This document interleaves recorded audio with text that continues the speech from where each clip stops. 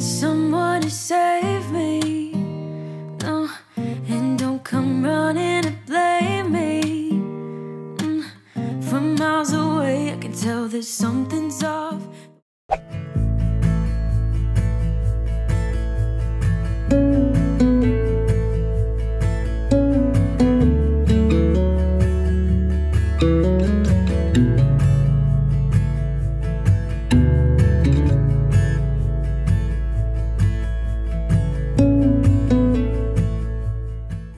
Hey guys, and welcome back to another Momtober video. I hope you guys are enjoying this series so far.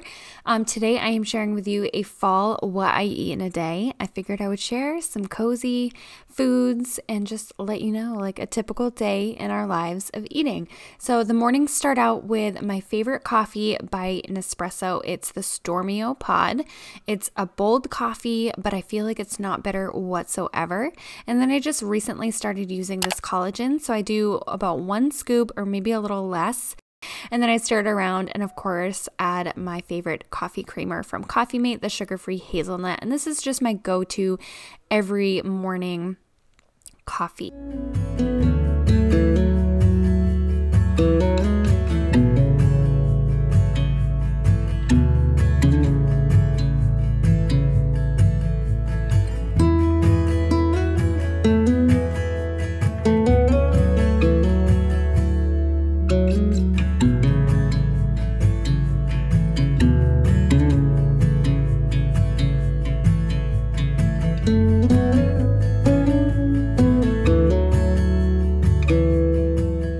Promise I will not be sharing these pumpkin pancakes in every video. I know this is like the third one that I've shared them in, but they are too good and we I ate them for like 3 days in a row.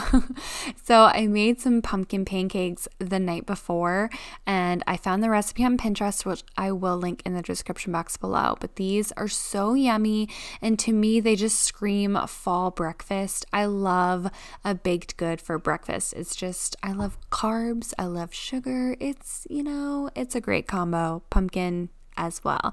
Um, and so, anyway, I popped them in the freezer and then in the microwave the next morning and topped them with some maple syrup and chopped pecans for a nice fall cozy breakfast.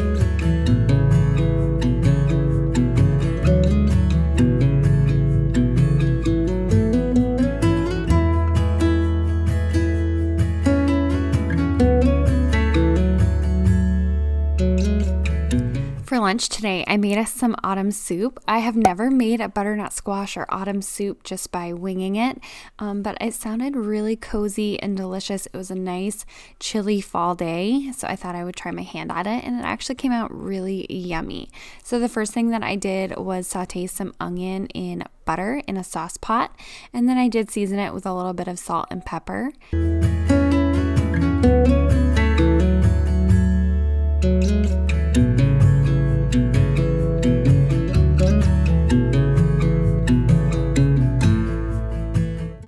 When the onions were translucent, I added about a teaspoon of garlic and sauteed for about 30 seconds.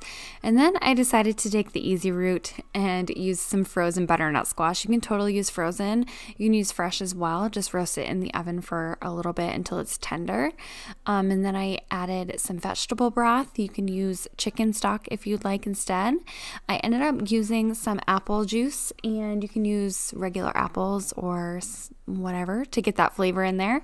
And then added some nutmeg for seasoning as well as a little bit of brown sugar. I accidentally put too much in there and it kind of dumped out. So just be mindful of that. Only a dash, or you can use a dash of honey instead.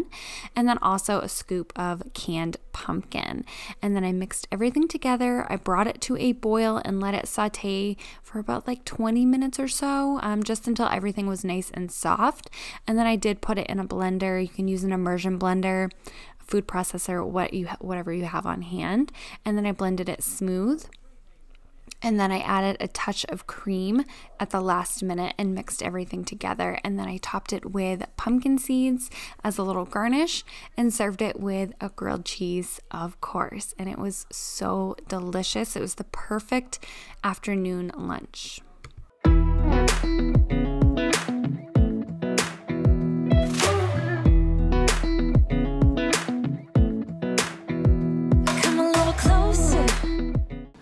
Try it yet?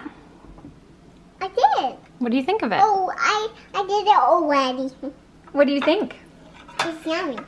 It's a little bit like apple pie. Oh. It's like apple pie. That's like apple pie. Yum. Mm. It's a little bit sweet because I accidentally dumped that brown sugar in there. But that's really good. Mama, I don't mm. like, Mama, I don't like that brown sugar. You don't like brown sugar? No. Oh. It's so yummy. Mmm. I think it would be even better if I added a little bit of apple in there and then like cooked it down and blended it all up with an apple. you did not put apple in it. You put apple in it and don't put apple, okay? I'm usually not one to order butternut squash soup or like enjoy it really. It's just not my thing. But this is so good. I wanna dance with you. Everything's moving slower. I don't know what it is you do. Tonight, I wanted to do a tomato basil chicken pasta dish. I think I had gotten inspiration from a Pinterest search that I had done, um, but this just sounded really delicious. So, you're gonna need some chicken, basil, diced tomatoes, some jarred pasta sauce, and Parmesan cheese. I'll just walk you through it. So, the first thing that I did was brown some chicken in a pan with a little bit of oil. Looking at you all night, trying to figure you out. I just want to make you smile. Hold your hand in my hand, looking at the sunset. Man, you're looking good tonight. I want to kiss you before the sun goes down. It's what you're doing, after flipping the chicken, I added some shallots and a little bit more butter to saute them and cook them through. And then I started a pot of boiling water and poured my pasta in here. And now this is the pasta that I got from Trader Joe's, and it's like that butternut squash pumpkin shaped pasta um, just to make it a little bit more fall and festive. Once the chicken and onions were cooked through, I added some diced canned tomatoes with a little bit of the juice as well, and then also some pasta sauce. Any jarred pasta sauce will do. And then you can add some seasoning. I added some dried basil and oregano as well.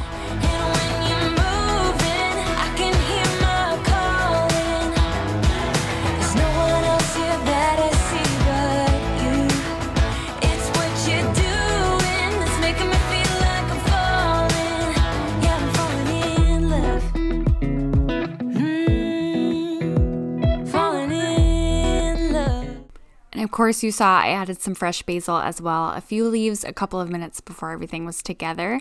And then I added some cream cheese to this. You can add a little bit of heavy cream, um, some regular, like maybe sour cream or cream cheese, something to add a little bit of tang and creaminess to cut the acidity of the tomatoes. And it just melted all in and made it like a creamy tomato basil. You set my wheels in motion. I'm going crazy for you.